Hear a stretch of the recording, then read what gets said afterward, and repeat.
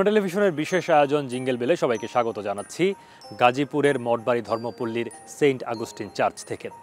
আজ বড়দিনের এই বিশেষ আয়োজনে আমরা এই দিনটির তাৎপর্য, যীশুখ্রিস্টের বিশ্বভ্রাতৃত্ববোধের বাণী এবং উৎসবের নানান প্রেক্ষাপট ও উৎসবের রং একটু পরখ করে নেওয়ার চেষ্টা করব। সেই আয়োজনে আপনাদের সঙ্গে আছি সৌমিত্র শুভ্র আর এখন আমার সঙ্গে রয়েছেন এই মিশনের পাল পুরোহিত উজ্জ্বল লিনুজ রোজারিও। উজ্জ্বল লিনুজ রোজারিও আপনাকে স্বাগত জানাচ্ছি জিঙ্গল বেলে। বড়দিনের শুভেচ্ছা শুভ বড়দিন। ধর্মপল্লীর পক্ষ থেকে আপনাকে অনেক অনেক স্বাগতম এবং শুভেচ্ছা জানাই। ধন্যবাদ।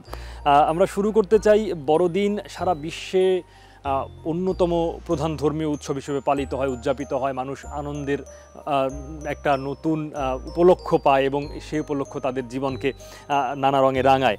এর যে ভিত্তি, এর যে বৈশ্বিক একটা প্রকাশ, সেটা সম্পর্কে একটু আপনার কাছ থেকে শুনতে চাই। এই দিনটির বড়দিনের তাৎপর্য একটু আমরা শুনতে চাই। বড়দিনের এই উদযাপনের আসলে প্রবাহ কোন, কীভাবে এলো এবং এই দিনটি কি মাহাত্ম বহন করে?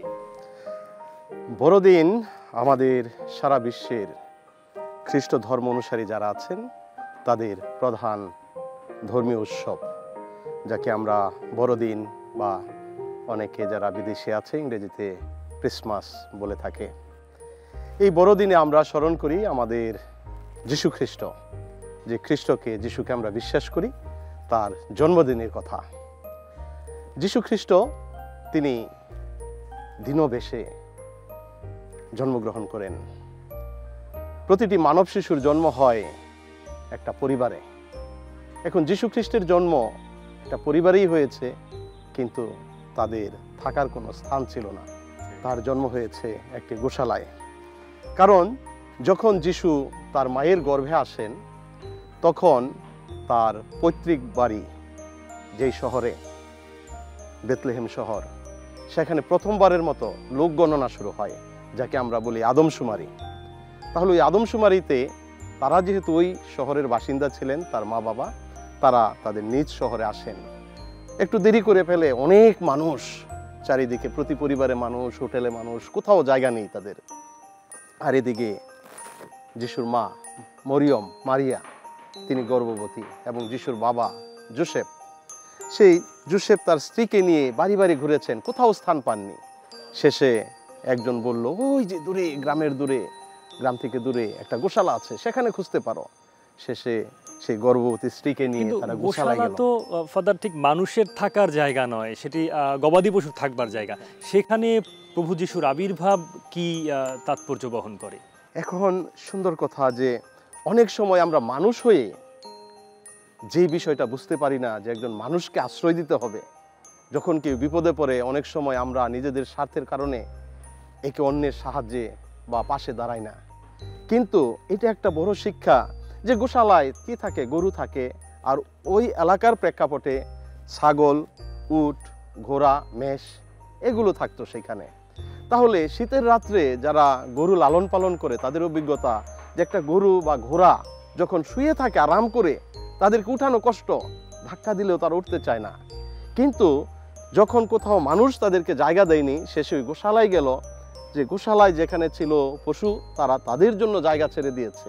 যে খড়ের মধ্যে যে সে যিশুকে জন্মের পর যেখানে গরু খাওয়া দাওয়া করে আমরা চারি বলি, সেই চারি এমনকি তারা খাওয়া দাওয়া পর্যন্ত বন্ধ করে সেই খাবারের পাত্রটা যিশুর শোয়ার দোলনা হিসাবে তাকে দিয়ে দিয়েছে। মানুষের মানবিকতার ক্ষেত্রে যে নির্লিপ্ততা সেদিকে ইঙ্গিত করে ইঙ্গিত করেছে অনেক এবং তেমন একটা পটভূমিতে পৃথিবীতে আবির্ভূত হয়ে যিশুর যে জীবন আমাদের এখনকার সময়কালের বাস্তবতায় সংক্ষিপ্ত জীবন বললে হয়তো খুব ভুল বলা হবে না।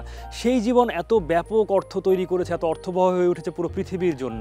ঠিক কীভাবে সেই অর্থবহতা আসলে সারা পৃথিবীতে প্রকাশিত হলো প্রচারিত হলো? মাত্র ছত্রিশ বছরের সেই সময়কার সময়কাল যদি আমরা হিসেব করি। হ্যাঁ সত্যি খুব স্বল্প সময়ের মধ্যে যীশু খ্রিস্ট তার জীবন উৎসর্গের মধ্য দিয়ে, তার প্রচার জীবনের মধ্য দিয়ে, তার শিক্ষার মধ্য দিয়ে মানুষের কাছে ব্যাপক সাড়া ফেলেছেন এবং সারা বিশ্বে তার অগণিত অনুসারী যাদেরকে আমরা খ্রিস্টান হিসেবে চিনে থাকি, জেনে থাকি। যে তার শিক্ষা ছিল তখনকার প্রেক্ষাপটে এরকম যে কিছু নির্যাতিত, অবহেলিত মানুষ ছিল। যে নির্যাতিত মানুষগুলো তখনকার সেই শাসক শোষক গোষ্ঠীর কাছে এমনকি সমাজের যারা নেতা নেত্রী ছিল, তাদের কাছে তারা ছিল অবহেলিত। সেই অবহেলিত জনগণ যখন দেখেছে যে যিশু তাদের পক্ষ হয়ে, যে নির্যাতিতদের পক্ষ হয়ে কথা বলছেন এবং অসহায় মানুষকে ভালোবাসার কথা বলছেন, ক্ষমার কথা বলছেন, একে অপরকে ভালোবাসতে শিখিয়েছেন, এমনকি শেষে নিজের জীবন উৎসর্গ করেছেন মানুষের কল্যাণে, মানবের কল্যাণে। যার ফলে সেখানে ভালোবাসা মানুষের জীবন, যার মধ্যে মানুষ প্রকৃত আনন্দ খুঁজে পায় যার সেই আনন্দটা খুঁজে পাওয়ার জন্যই মানুষ তার অনুসারী হয়েছে। আচ্ছা অর্থাৎ সেই ভ্রাতৃত্ব এবং সহমর্মিতার যে বোধ, সেই বোধই আসলে মানুষকে এক করেছে যীশু খ্রিস্টের যে আদর্শ সে আদর্শ অনুসরণে। এখনকার যে সময়কাল, সেই সময়কালকে ঘিরে আমরা আসলে নানান রকম প্রত্যাশা হয়তো করে থাকি, কিন্তু সেখানেও কত রকম সংকট আবির্ভূত হয়। সেসব সংকটের কথা আমরা একটু পরে আলোচনা করব, তবে তার আগে বড়দিনকে ঘিরে যে উদযাপন বা একেবারে একান্ত পালনীয় রীতি, সেটা আপনার কাছ থেকে একটু সংক্ষেপে শুনতে চাই। সেটা বিশ্বের দেশ ভেদে বিভিন্ন হয় কিনা বা স্থান ভেদে বা আপনাদের যে রকম নানান আচার থাকে সেই আচারের ক্ষেত্রে ভিন্নতা আছে কিনা? আপনারা কীভাবে বাংলাদেশে বা আপনাদের এই মিশনগুলোতে উদযাপন করেন? বড়দিন কীভাবে পালিত হয়? বড়দিন যে উৎসব, এটা প্রধান হলো যে আমরা বড় একটা প্রার্থনা অনুষ্ঠান করি। সেই প্রার্থনা অনুষ্ঠানে যেটা আমরা কি বলি, মিশা বা খ্রিস্টজাক তাহলে এটা হলো একটা প্রধান উৎসব আমাদের বড়দিনে। আমাদের পর্বটা যীশু খ্রিস্টের জন্মর মেন অনুষ্ঠানটাই হলো সেই খ্রিস্টজাগ বা মিশা, যা আমাদের সকল খ্রিস্ট ভক্ত বা খ্রিস্ট বিশ্বাসীগণ তারা এই অনুষ্ঠানে অংশগ্রহণ করে। অংশগ্রহণ করার মধ্য দিয়ে প্রার্থনা করে। প্রার্থনা করে প্রার্থনার মধ্য দিয়ে আরও গভীরভাবে চেষ্টা করে যে যীশু খ্রিস্টকে নিজেদের অন্তরে উপলব্ধি করার, যে যিশু এক সময় গোশালায় জন্মগ্রহণ করেছে, কিন্তু এখন আমরা আমাদের জীবনযাপনের মধ্য দিয়ে, আমাদের প্রার্থনা, আমাদের ভালো কাজ, ভালো জীবনের মধ্য দিয়ে আমরা যিশুকে আর গোশালায় পাঠাতে চাই না। এখন আমরা চাই যিশু আমাদের অন্তরে আসুক। আর সেই প্রেক্ষাপটেই আমরা বড়দিন উৎসবগুলো পালন করে থাকি। ফাদার, আপনি তো বলছিলেন মিশা বা যে মূল আনুষ্ঠানিকতার কথা, একান্ত পালনীয় রীতি। সংস্কৃতি ভেদে তো উদযাপনের যে ধরন, তাতেও কিছু রং বদলায়। বাংলাদেশে সেটা কীভাবে বদলেছে কৃষ্টির সঙ্গে সঙ্গে? আমাদের যে খ্রিস্টজাগ বা মিশা, এটা একটা প্রধান সবার জন্য। এরপরে আমাদের বাংলাদেশে যে বিষয়টা সবচাইতে বেশি লক্ষণীয়, যে আনন্দ প্রকাশের একটা বড় মাধ্যম, যে গান, আনন্দ সংগীত, যেটাকে আমরা কীর্তন বলি।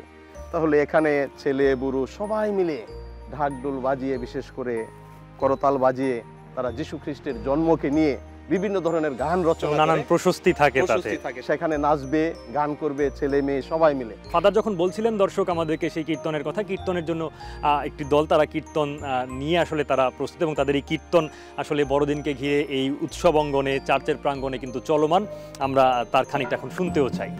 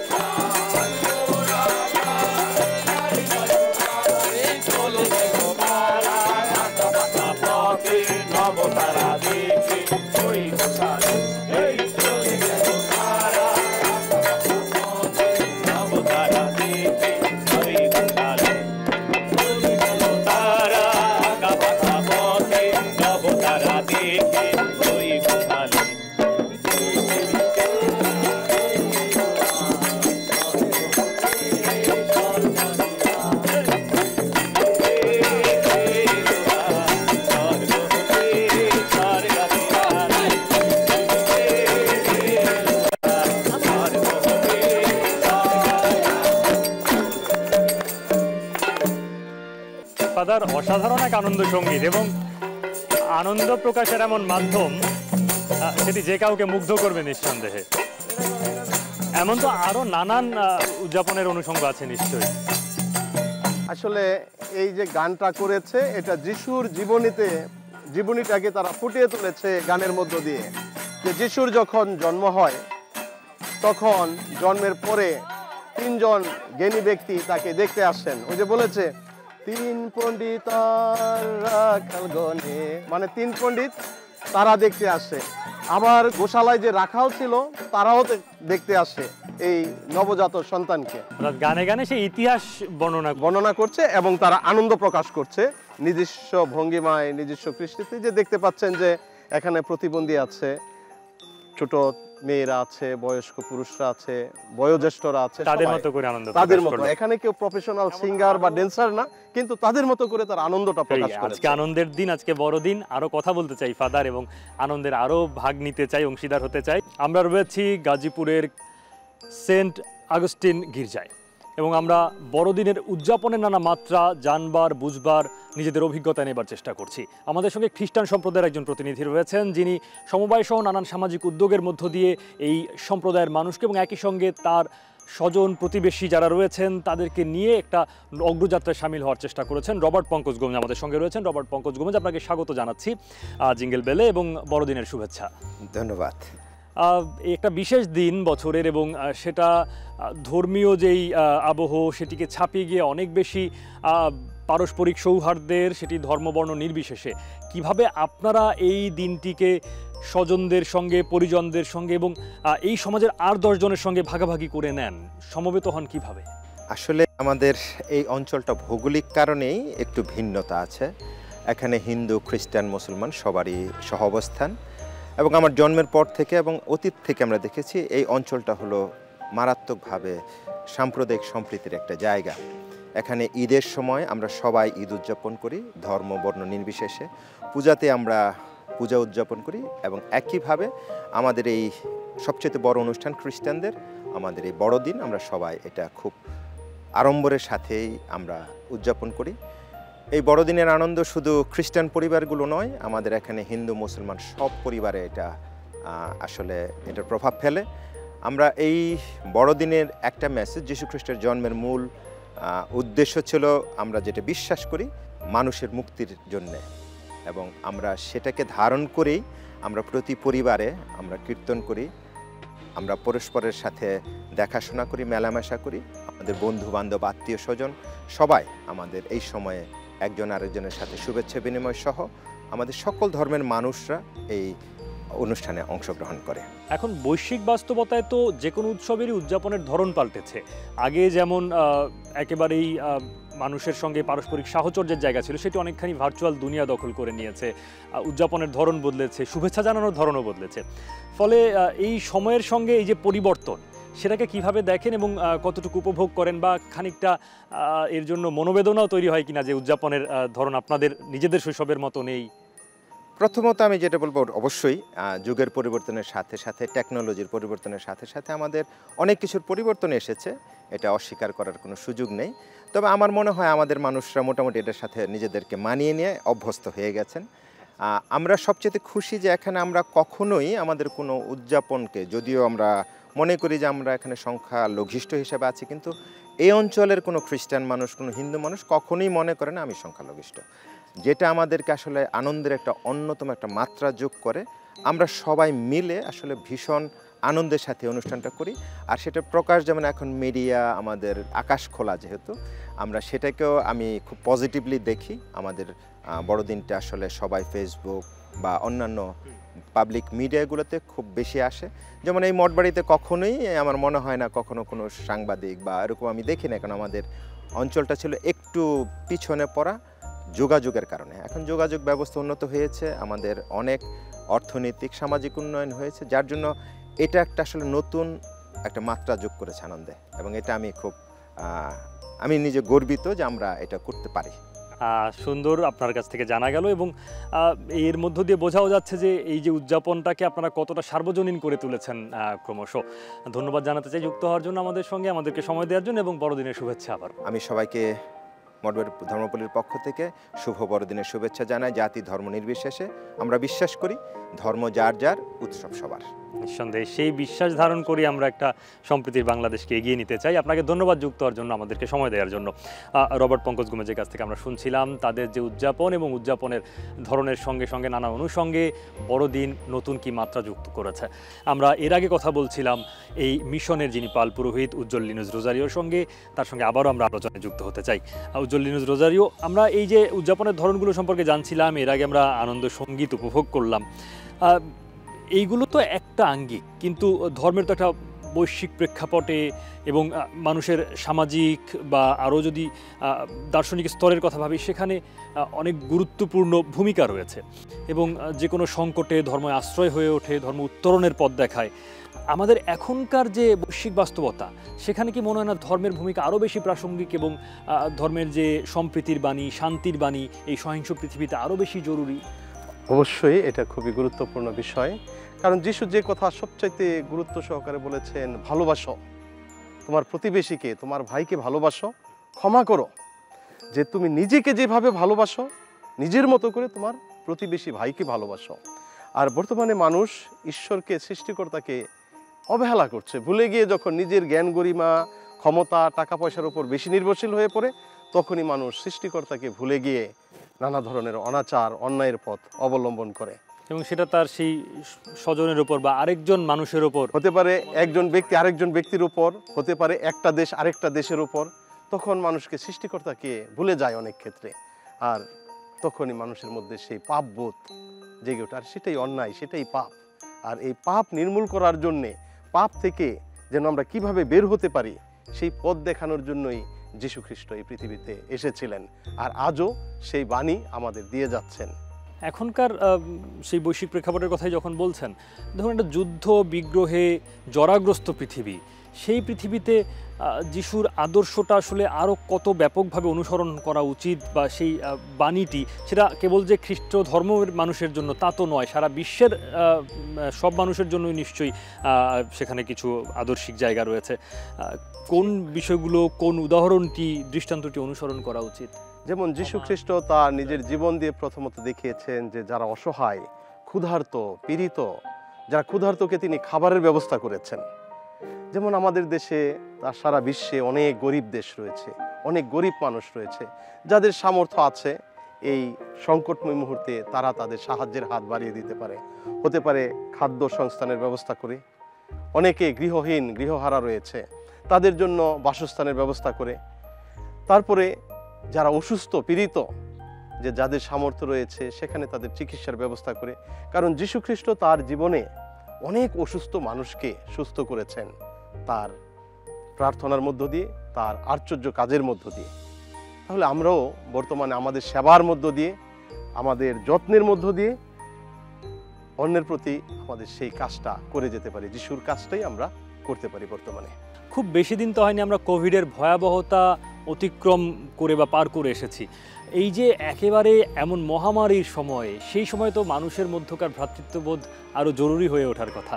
কিন্তু সেই মহামারীর উত্তরকালে বা মহামারীর একটা দেশ এখনও রয়ে গেছে, তার মধ্যে মানুষের মধ্যে আরও বেশি ঘৃণা, বিদ্বেষ সেটা হতাশ করে না? এর মধ্যে আশাবাদের আলো আসলে কোথায় দেখতে পান আপনি?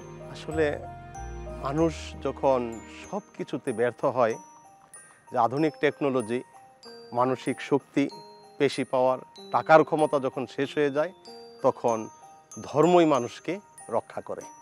তাহলে এমন একটা পর্যায়ে কিছু কিছু ব্যক্তি পৌঁছেছে যখন তারা ধর্মকে সৃষ্টিকর্তাকে উপলব্ধি করতে পারছে। কিন্তু এখনও যারা সৃষ্টিকর্তার কাছে যেতে পারেনি বা তাদের মনে আছে, মুখে আছে, কিন্তু অন্তরে যারা সৃষ্টিকর্তার সেই বাণী বা যীশু খ্রিস্টের যে বাণী দেওয়া বা রাখার কথা, সেটা পালন করার কথা যারা করছে না তারাই অনেক সময় যীশুখ্রিস্টকে ভুলে গিয়ে, যীশুখ্রিস্টের শিক্ষা ভুলে গিয়ে তারা সেই অন্যায় কাজের সাথে লিপ্ত হয়। এখন এমন একটা সংকটের সময়ে ঠিক কোন জায়গায় সেটা ভ্রাতৃত্বের বন্ধনের কথা আপনি যেমন বলছেন ঠিক কোন জায়গায় আমরা আসলে আরও বেশি নৈকট্যটা অনুভব করতে পারি? ধর্ম তো দর্শনের কাজও করে মানুষ কেবল যে সেটি কিছু রীতিনীতির মধ্য দিয়ে পালন করবে তা তো নয় তার দৈনন্দিন জীবনাচরণে আহ, রাষ্ট্রীয় দায়িত্ব পালনে বলুন বা সামাজিক যে কোনো কর্মকাণ্ডেও তো তার প্রভাব থাকা উচিত। যেমন যখন দেশে মহামারী করোনা মহামারী শুরু হয়েছে সারা বিশ্বে প্রথম প্রথম যারা মারা গিয়েছেন বা অসুস্থ হয়েছেন কিছু লোক আছে যে টাকা আছে ক্ষমতা আছে এমনকি তারা ধার্মিক মানুষ কিন্তু মৃত্যুর ভয়ে তারা সেই করোনা আক্রান্ত রোগীর কাছে যায়নি হ্যাঁ স্পর্শ করেনি। কিন্তু কিছু মানুষ আবার আছে যারা দেখলাম সেখানে তারা হিন্দু মুসলিম খ্রিস্টান বলে কোনো কথা নাই। মানুষ হিসেবে তারা দেখিয়েছি যে আমাদের এখানে যারা মারা গিয়েছে অনেকে মুসলিম লোক হিন্দু লোক তারা সবাই মিলে সেই মৃত ব্যক্তির সৎকারে সাহায্য করেছে। তারা ধর্ম দেখেনি তারা মানবিকতা দেখেছে। এই যে মানবিকতার জীবন সত্যিকার মানবিকতার যে শিক্ষাগুলো সেটাই হলো যীশু খ্রিস্টের বা ধর্মীয় শিক্ষা। প্রতি ধর্মেই এই শিক্ষাটাই দিচ্ছে। এইখানে তার মানে ধর্মগুলোর মধ্যে একটা সাদৃশ্য আসলে হ্যাঁ রয়েছে। ধর্ম অবশ্যই। ধর্মের ইতিবাচক দিকগুলো এড়িয়ে গিয়ে অনেকে নেতিবাচকভাবে ধর্মকে ব্যবহার করার চেষ্টা করেন। আপনি নিশ্চয়ই সেটি লক্ষ্য করেছেন। তাদের জন্য আসলে কি বার্তা থাকছে, কি বার্তা দেয়া আছে বাইবেলে বা যিশুর জীবন আচরণের মধ্য দিয়ে?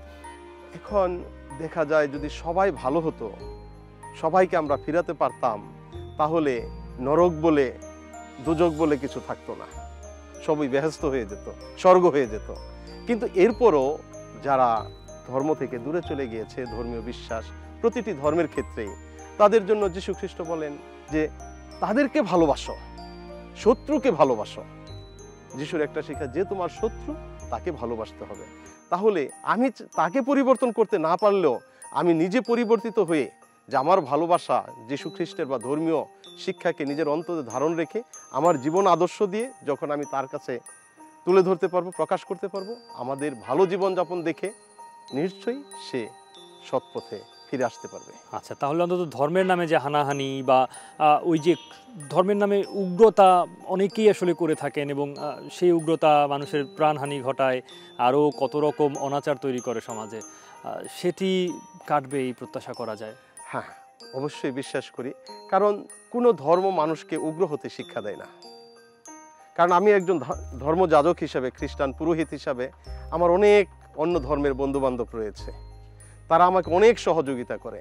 যে কোনো বিপদে পড়লে তারাই আমাকে পাশে এসে দাঁড়ায়, আমার খ্রিস্টান ভাই বোনদের পাশাপাশি। তাহলে এখানে তো কে কোন ধর্মের সেটা আমরা দেখি না। এখানে দেখি সম্পর্ক, যে একটা ভ্রাতৃত্ব সম্পর্ক রয়েছে। এখানে যখন আমরা বড়দিন উৎসব বা যে কোনো অনুষ্ঠান করি, এখানে পাশাপাশি অন্য ধর্মের ভাই বোনেরা আসে।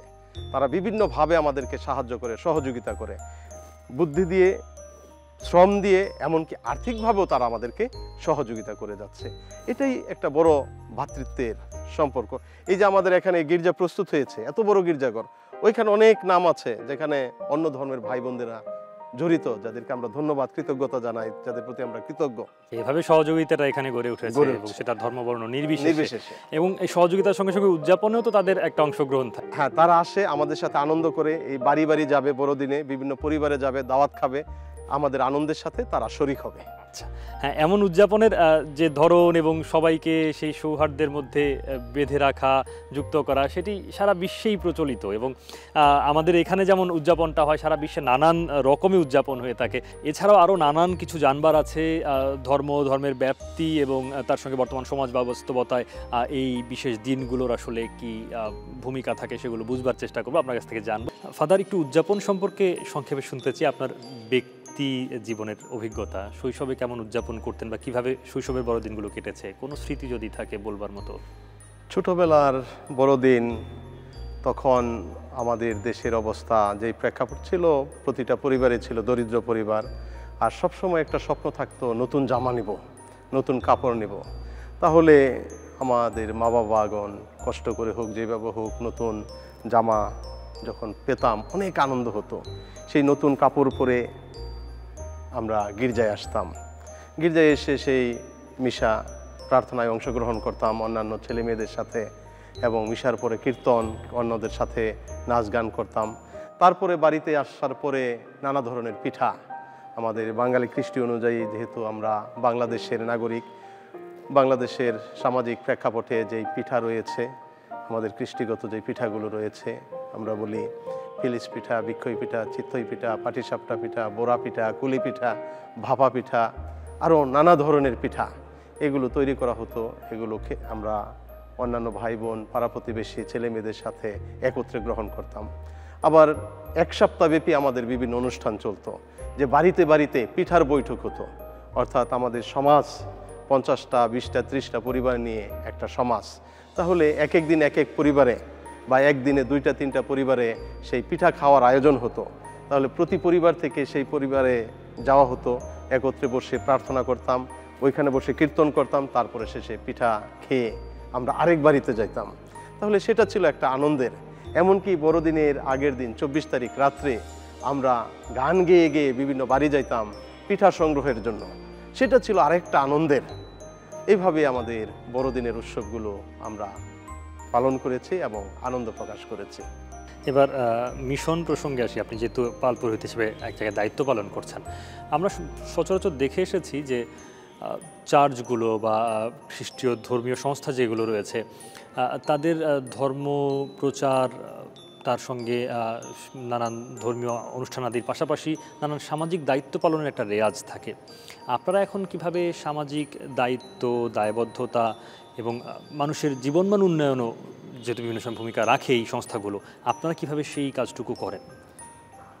সুন্দর একটা প্রশ্ন করেছেন যে আমাদের এই ধর্ম, এই শিক্ষা দেয় যে একজন মানুষ হিসাবে যে স্বয়ং সৃষ্টিকর্তা, আল্লাহ তালা ঈশ্বর ভগবানের সৃষ্ট জীব হিসাবে সবাইকে আমরা সমান দৃষ্টিতে দেখি এবং বড়দিন উপলক্ষে বা আমাদের ধর্ম হিসাবে, খ্রিস্টান ধর্ম হিসাবে যে কাজগুলো, সামাজিক কাজগুলো করে থাকি, যে অসহায়, দরিদ্র যারা রয়েছে, অভাবী, দুঃখপীড়িত, তাদের সাহায্য করা।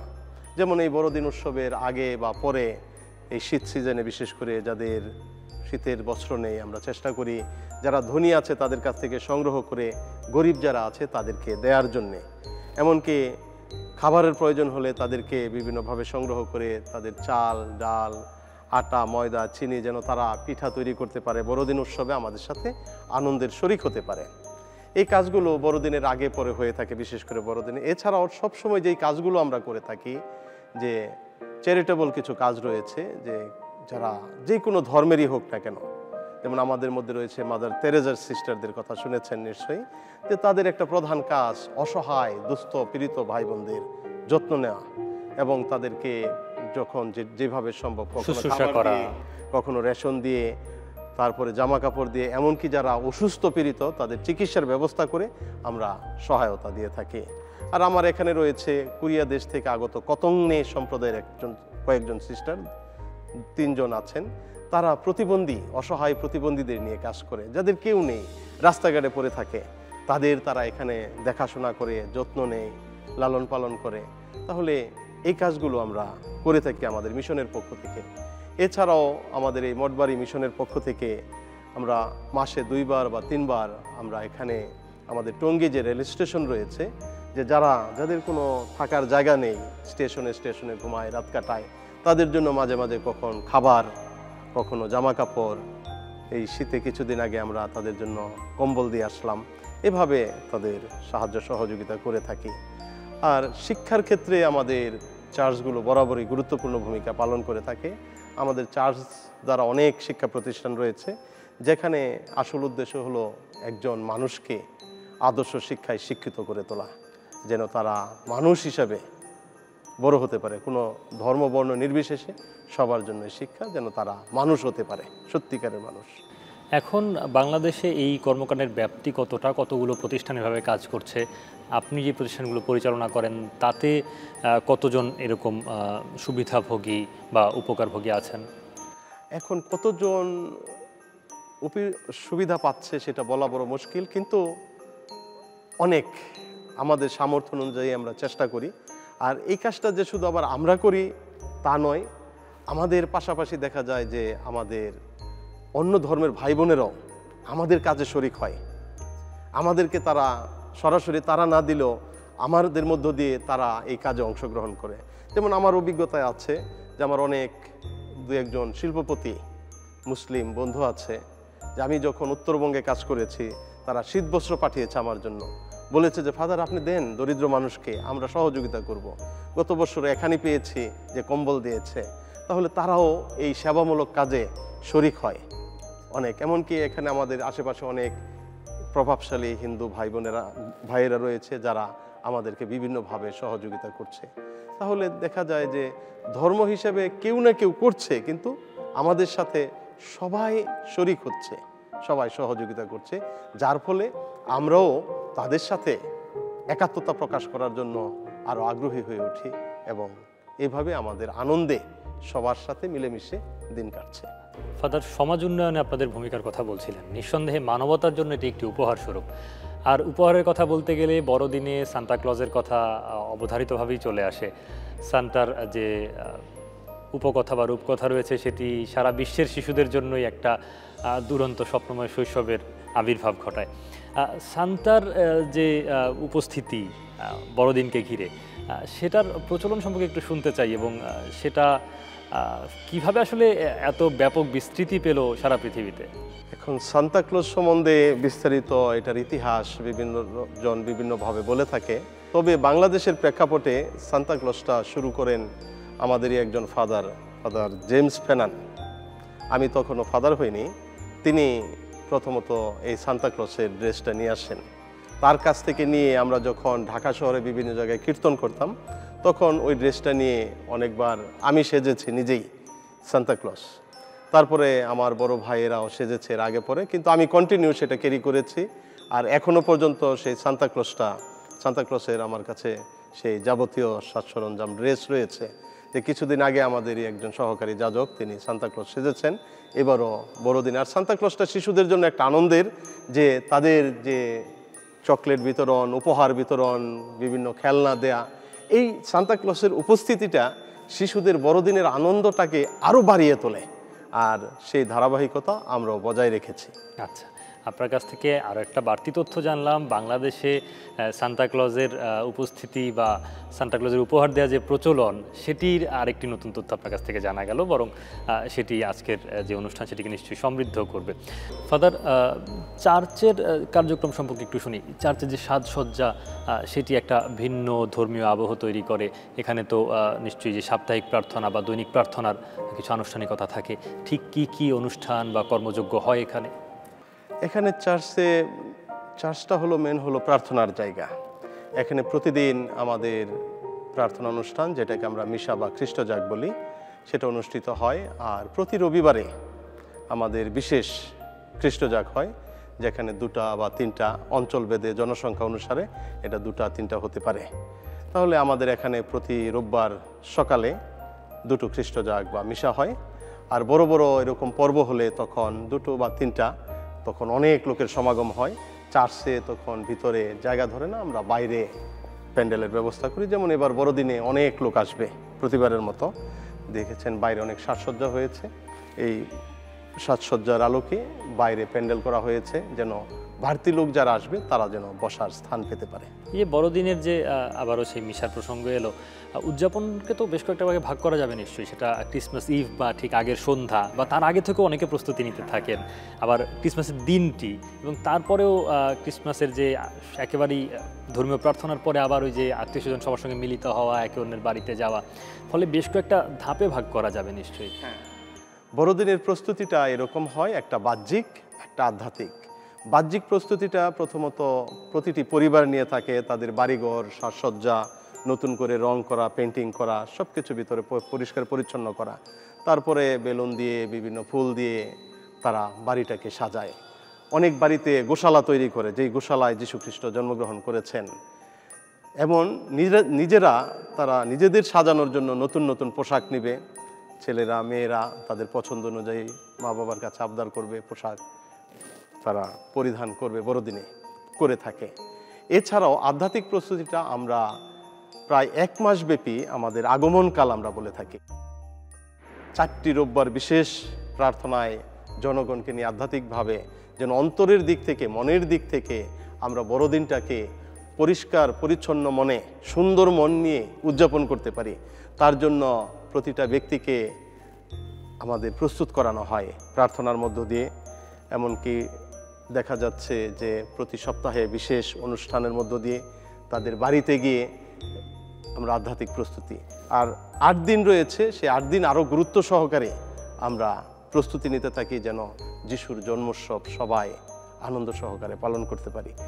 মেন বিষয়টা হলো বাহ্যিক প্রস্তুতির চাইতে আমরা গুরুত্ব দিয়ে থাকি যেন প্রতিটা মানুষ অন্তরের যে কালিমাগুলো রয়েছে, যে ভুল ত্রুটিগুলো রয়েছে, যে দুর্বলতাগুলো রয়েছে, যে পাপময়তাগুলো রয়েছে যে চিন্তা ভাবনাগুলো রয়েছে যার মধ্য দিয়ে অনেক ক্ষতিগ্রস্ত হচ্ছে সেগুলো থেকে মুক্ত হয়ে সবাইকে ভাই বন্ধু হিসাবে যেন আগলে রাখতে পারি বুকে জড়িয়ে ধরতে পারি। আগলে রাখা এবং তার রাখা। আত্মিক উন্নতির কথাও আপনি বলছেন।